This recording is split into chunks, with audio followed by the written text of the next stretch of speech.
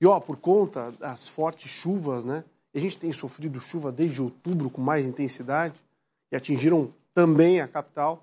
O centro de saúde aqui do Monte Serra vai passar por avaliações estruturais na próxima semana. Tomara que não dê nada, né?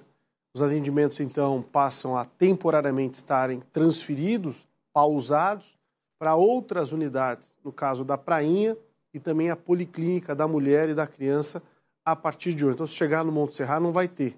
O atendimento vai ser nesses outros dois blocos de saúde. Os moradores também contam com o Alô Saúde Floripa, né? É só ligar, é 24 horas por dia. O número vai aparecer na tela: 0800 333 3233, que é o Alô Saúde da capital, que oferece atendimento médico por vídeo chamada, orientações em saúde e informações sobre as unidades também.